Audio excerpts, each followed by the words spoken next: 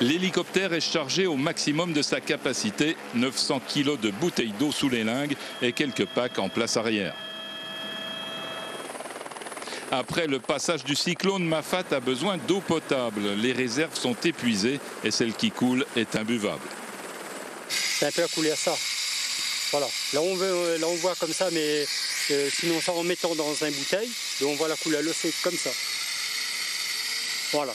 Donc c'est pour ça à l'instant, on ne peut pas boire cette eau-là. Non, c'est impossible. Ben là, il ne boit pas l'eau robinet, il m'a ramassé deux, trois, mais il m'a rempli avant le cyclone qui arrive, mais il a presque plus quoi. Hier, la mairie de Saint-Paul a ravitaillé ses îlettes. Cet après-midi, la mairie de la Possession a commencé le ravitaillement d'horaires d'îlettes à Malheur, Grand Place et la Nouvelle. Il y a eu des euh, éboulis sur les canalisations d'eau. Donc euh, avant de réparer, il faut quand même du temps pour faire monter le matériel et des agents.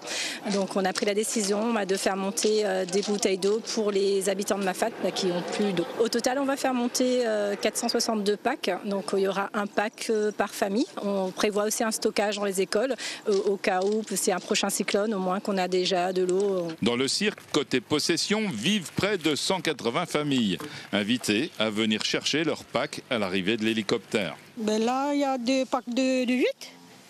Oui, c'est pour un pour moi, un pour mon fils. Et alors là, vous pensez tenir combien de temps avec ça? Ben là, je ne sais pas. Peut-être euh, une semaine, deux semaines. Vous allez l'économiser? Oui, oui. Oui, pour boire surtout, parce que l'eau ici est sale.